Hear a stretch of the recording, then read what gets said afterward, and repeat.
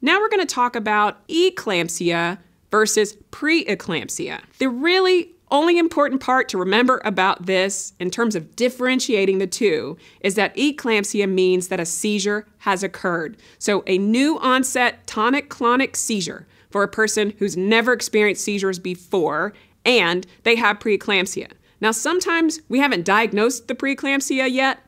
So, sometimes the seizure is where we first say, oh, wow, I think this client has preeclampsia. Well, actually, now they have eclampsia because they've seized. So the only difference is the seizure.